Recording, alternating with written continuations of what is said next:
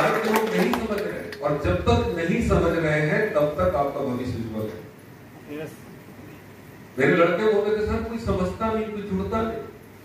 मैं एक ही बात बोलता था बजरंग बली पे लड्डू चढ़ाओ। क्या सर उल्टी बातें करते हो? कोई सुनता ही नहीं अब घर लड्डू चढ़ाओ।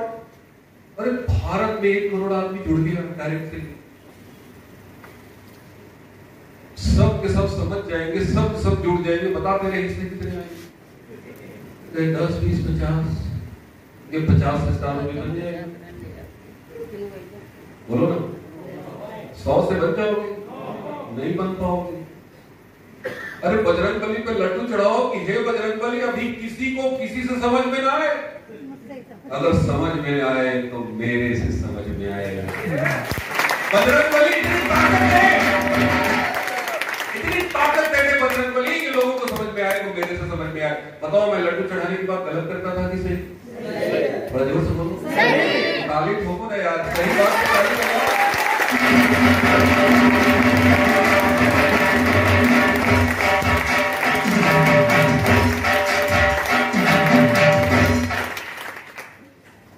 देखिए आज तक हमें यही नहीं पता चल पाया कि हम जो कर रहे हैं वो सही है या नहीं 99 परसेंट लोग आरसी बिज़नेस में हम तो कर रहे हैं, फैसला तो कर लेते लेकिन वो चलते हैं।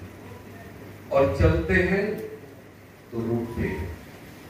रुकते हैं चलते चलते हैं, रुकते रुकते हैं? मास्टर है भाई साहब।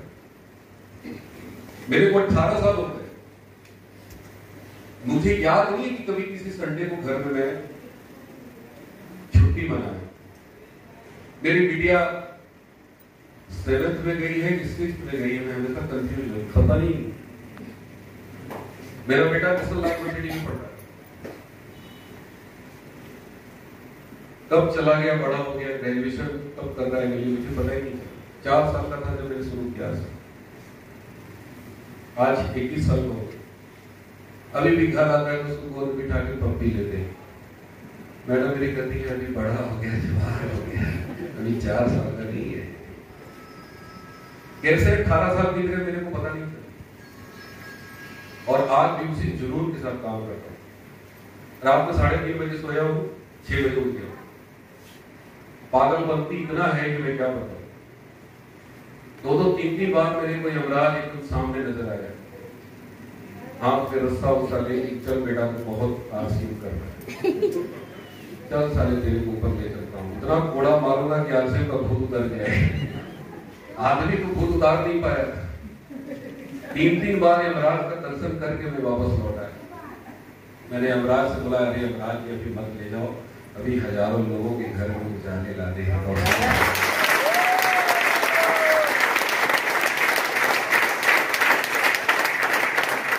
पॉजिटिविटी में इतनी ताकत है ना कि आपको कभी थकने नहीं देगा, कभी रुकने नहीं देगा, कभी आपको सांस नहीं लेने देगा।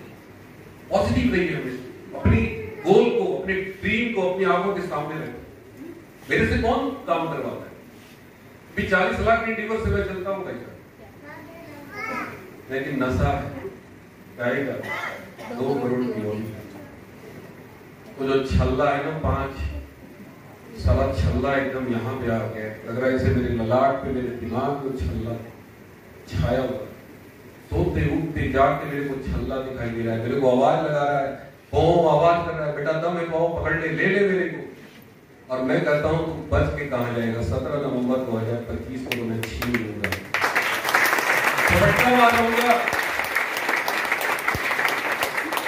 अरे, जिस दिन आपके सपने जग गए ना, आप रुक नहीं पाओगे। दिक्कत क्या है ना, कि हमारे हिंदुस्तान के लोगों में ना, सपने है ही नहीं। दाल रोटी खाओ क्या लेके आए हो। खाली हाथ आए संतोष पर